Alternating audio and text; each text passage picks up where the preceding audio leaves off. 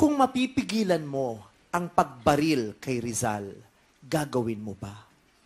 I believe kung mapipigilan ko ang pagbaril kay Rizal, hindi ko pipigilan. Dahil ang pagbaril kay Rizal, ang nagmulat sa mata ng mga tao, ng mga Indio, na dapat mag-aklas sa mga Kastila at ipaglabang ang ating kasarinlan. Dahil sa pangyayaring iyon, nagkaroon tayo ng kalayaan dahil lumaban ang mga Pilipino. Ika nga ni Jose Rizal bago siya barilin. Consumatum ist, meaning to say, it is done. So kagustuhan niya din dahil si Rizal ang ating bayani. I thank you. Anong magandang nangyari sa Pilipinas noong 2018 ang gusto mong magpatuloy ngayon 2019? I believe ang mga pangyayari sa 2018 na gusto kong magpatuloy ay yung mga Pilipino na nagtutulungan, nagbabayanihan pa rin sa kabila ng lahat. Maraming kalamidad ang nangyari sa Pilipinas ng 2018, ngunit kailan pa may hindi tayo natinag.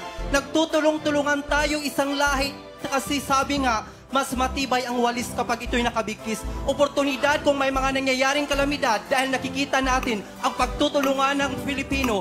That is the spirit of Filipino people. And I thank you. Sa iyong palagay, bakit may mga batang nagiging bully? I believe maraming dahilan kung bakit may mga batang nagiging bully. Ang isa na po dyan, lack of cohesiveness. Pag sinabi natin cohesiveness, closeness sa kanilang pamilya, kaya sila na, nambubuli dahil akala yun ang tama. Hindi nila napipil ang pagmamahal ng pamilya o di kaya ang pamilya nila ay nasa ibang bansa o kahit ano paman.